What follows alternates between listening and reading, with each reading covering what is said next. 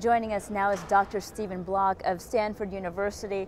Uh, thank you for taking time to talk to us today. My Uh, pleasure. You specialize in the area of single molecule biophysics, and you consult for the government in areas of national security.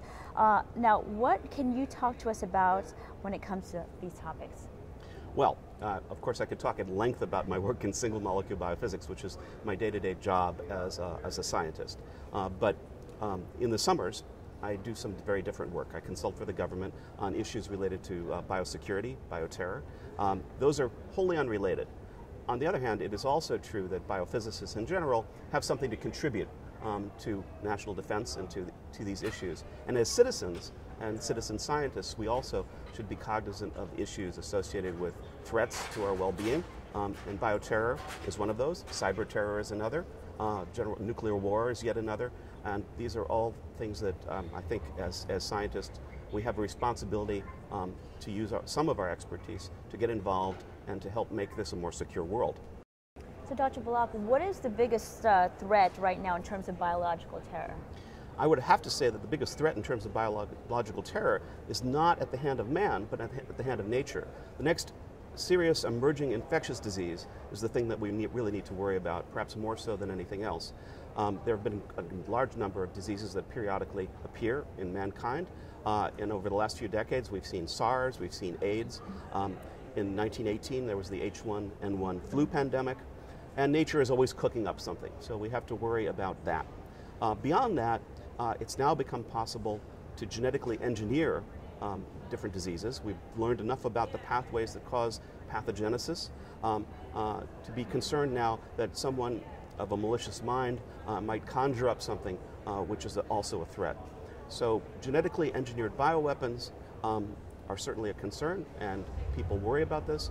But I still have to say that at the moment, uh, nature's own threats uh, loom large in the future. So, what's not being discussed about that issue? That's an interesting question. I would have to say that virtually everything is being discussed. Um, the question is what is being done about any of this. And the fact of the matter is that we don't know enough to do certain things. For example, we don't really have good antivirals that work against an arbitrary virus. Uh, we don't even have a new generation of antibiotics. So there's a lot that we'd like to be able to do that we, for various technical reasons, we still cannot do. There are a number of countermeasures we'd like to have in place um, for uh, both man-made and natural um, uh, bioevents, and uh, it's though there's work that needs to be done on that. Uh, there's work that needs to be done to prop up the moribund pub- public health system in the United States. Uh, we have one of the highest infant mortality rates of any civilized nation.